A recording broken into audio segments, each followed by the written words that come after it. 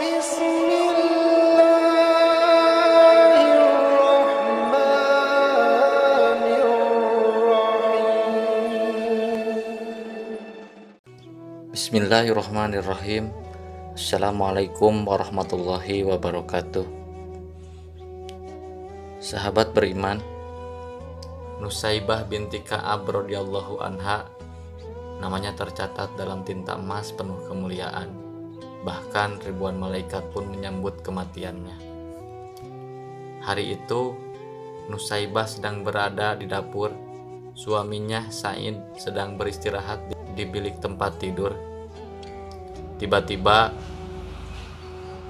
terdengar suara gemuruh bagaikan gunung-gunung batu yang runtuh. Nusaibah menerka itu pasti tentara musuh sebab beberapa hari terakhir ketegangan memuncak di kawasan Gunung Uhud. Ia pun bergegas meninggalkan apa yang sedang dilakukannya dan masuk ke bilik. Kemudian Nusaibah membangunkan suaminya yang sedang tertidur dengan halus dan lembut. Suamiku tersayang, kata Nusaibah.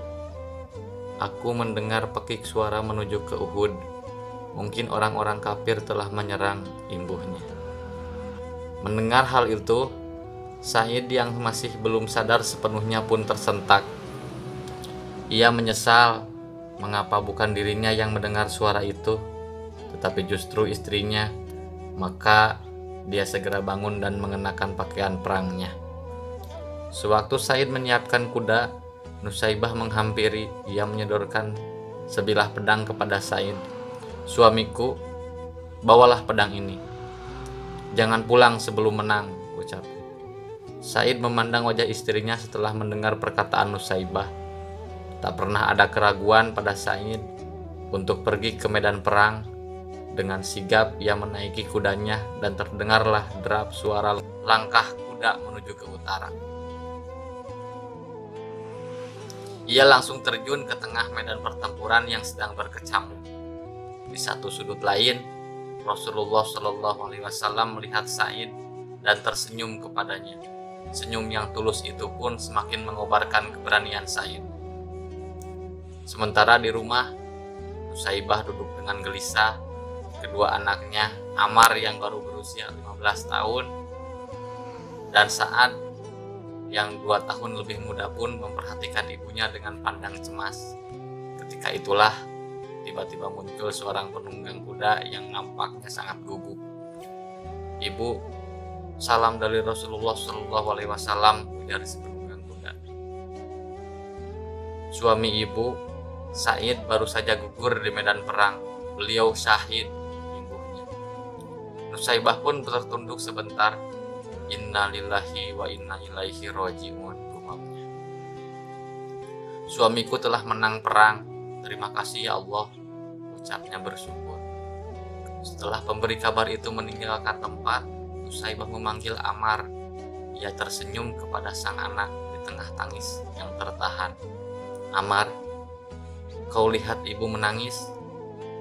Ini bukan air mata sedih mendengar ayahmu telah syahid, nak Ibu sedih karena tidak memiliki apa-apa lagi untuk diberikan bagi para pejuang Nabi.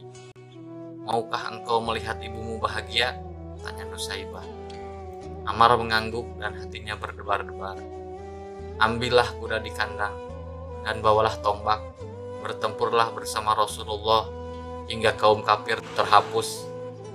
Kata Nusaibah pada Amar. Mata sang putra pun bersinar Terima kasih ibu.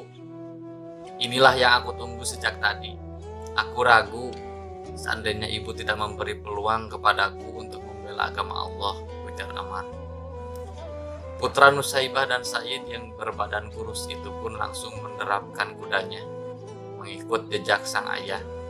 Tidak terlihat ketakutan sedikit pun dalam wajahnya, hingga di hadapan Rasulullah SAW ia memperkenalkan diri. Ya Rasulullah, Aku Amar bin Said.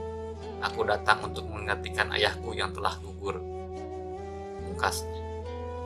Dengan terharu Rasulullah Shallallahu Alaihi Wasallam memeluk Amar. Engkau adalah pemuda Islam yang sejati Amar. Allah memberkatimu. yaitu Rasulullah Shallallahu Alaihi Wasallam. Hari itu pertempuran berlalu cepat. Pertumpahan darah berlangsung hingga petang. Paginya, seorang utusan pasukan Islam berangkat dari perkemahan di medan tempur menuju ke rumah Nusaibah. Setibanya di rumah itu, wanita yang tabah itu sedang termangu menunggu berita. Ada kabar apakah gerangan? Seru gemetar ketika sang utusan belum membuka suara. Apakah anakku gugur? Tanya Nusaibah. Utusan itu hanya menunduk sedih dan menjawab betul. Innalillahi wa inna ilaihi rojiun. Gumam Nusaibah pelan, ia kembali menangis. Kau berduka ya Ummu Amar? Tanya utusan tersebut. Nusaibah menggeleng kecil. Tidak, aku gembira, hanya aku sedih.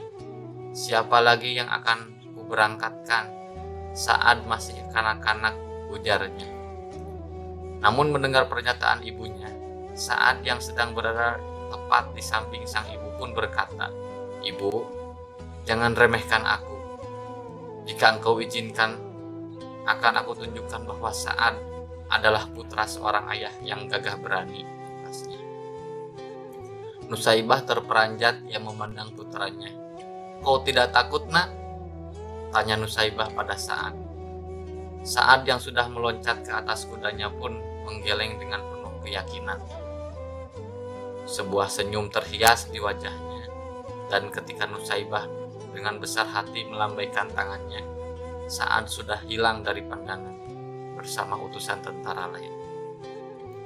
Di arena pertempuran, saat betul-betul menunjukkan kemampuannya, pemuda berusia 13 tahun itu telah banyak menghempaskan nyawa orang kafir hingga akhirnya tibalah saat itu yakni ketika sebilah anak panah menancap di dadanya saat tersungkur mencium bumi dan menyerukan Allahu Akbar kembali Rasulullah Shallallahu Alaihi Wasallam memberangkatkan utusan ke rumah Nusaibah mendengar berita kematian itu Nusaibah meremang bulu tengkuknya Hei utusan Kau saksikan sendiri, aku sudah tidak memiliki apa-apa lagi. Hanya masih tersisa diriku yang tua ini. Untuk itu, izinkanlah aku ikut bersamamu ke medan perang. Ujar Nusaibah. Sang utusan mengerutkan keningnya, tapi engkau wanita ya ibu. Nusaibah yang tersinggung pun mengatakan, engkau meremehkan aku karena aku wanita. Apakah wanita tidak ingin pula masuk surga melalui jihad. Nusaibah tidak menunggu jawaban dari utusan tersebut. Ia langsung bergegas menghadap Rasulullah Shallallahu Wasallam dengan mengendarai kuda yang ada. Setibanya di sana, Rasulullah Shallallahu Alaihi Wasallam mendengarkan semua perkataan Nusaibah dan berkata dengan senyum, Nusaibah yang dimuliakan Allah belum masanya wanita mengangkat senjata. Untuk sementara engkau kumpulkan saja obat-obatan dan rawatlah tentara yang luka. Pahalanya sama dengan yang bertempur. Mendengar penjelasan Nabi yang mulia, Nusaibah langsung menenteng obat-obatan dan berangkat ke tengah pasukan yang sedang bertempur. Ia merawat mereka yang mengalami luka-luka dengan cermat. Hingga pada suatu saat, ketika ia sedang menunduk dan memberi minum kepada seorang prajurit muda yang terluka. Tiba-tiba tiba-tiba rambut prajurit itu terkena percikan darah. Nusaibah pun memandang ternyata kepala seorang tentara Islam itu tergolek. Ia tewas terbabat oleh senjata orang kafir. Nusaibah marah menyaksikan kekejaman itu. Apalagi ketika dilihat Rasulullah Shallallahu Alaihi Wasallam terjatuh dari kudanya akibat keningnya terserempet anak panah musuh. Menyaksikan hal itu, ia pun tak lagi dapat menahan diri.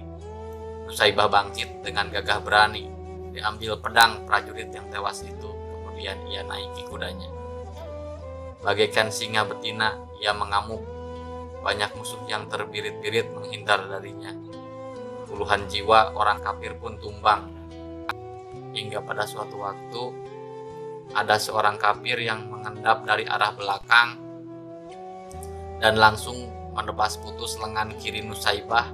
Ia pun terjatuh terinjak-injak oleh kuda.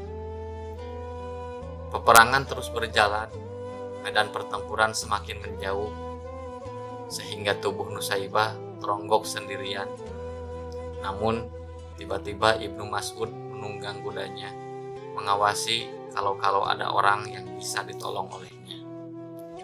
Begitu ia melihat ada tubuh yang bergerak-gerak dengan susah payah, ia segera mendekatinya, dipercikannya air ke muka tubuh. Hingga akhirnya Ibnu Mas'ud mengenali Nusaibah, istri Saidkah engkau? Tanyanya. Nusaibah sama-sama memperhatikan penolongnya. Lalu bertanya, bagaimana dengan Rasulullah? Selamatkah Baginda? Baginda Rasulullah tidak kurang suatu apa pun. Engkau Ibnu Mas'ud bukan? Pinjamkan kuda dan senjatamu kepadaku, ujarnya. Engkau masih terluka parah, Nusaibah, jawab Ibnu Mas'ud. Engkau mau menghalangiku untuk membela Rasulullah. Terpaksa Ibnu Mas'ud menyerahkan kuda dan senjatanya. Dengan susah payah, Nusaibah menaiki kuda itu, lalu menderapkannya menuju medan pertempuran. Banyak musuh yang ia buat jungkir balik, namun karena tangan sudah buntung, Akhirnya tak urung juga lehernya terbabat putus oleh sabetan pedang musuh. Gugurlah wanita perkasa itu ke atas pasir. Darahnya membasahi tanah yang ia cintai. Tiba-tiba langit berubah mendung, hitam kelabu. Padahal tadinya langit tampak cerah dan terang benderang. Pertempuran terhenti sejenak. Rasulullah Shallallahu Alaihi Wasallam kemudian berkata kepada para sahabatnya, "Kalian lihat langit tiba-tiba menghitam, bukan? Itu adalah bayangan para malaikat yang beribu-ribu jumlahnya. Mereka berduyun-duyun menyambut kedatangan arwah Nusaibah, wanita yang perkasa. Subhanallah, Allahu Akbar, Allahu Akbar, Allahu Akbar. Sahabat beriman, tanpa pejuang sejati seperti dia, mustahil agama Islam bisa sampai dengan damai kepada kita yang hidup di zaman sekarang ini. Lantas, apa yang sudah kita perbuat untuk mengatakan dinul Islam? Sahabat, kisah inspirasi ini bisa menggugah jiwa juang kita agar tidak cengeng melepas anak-anak yang sedang berjuang. Sebab kalau ingin anak menjadi kuat, maka kita pun harus bisa menjadi ibu yang kuat terlebih dahulu. Semoga bermanfaat. Billahi taufiq wal hidayah. Assalamualaikum warahmatullahi wabarakatuh.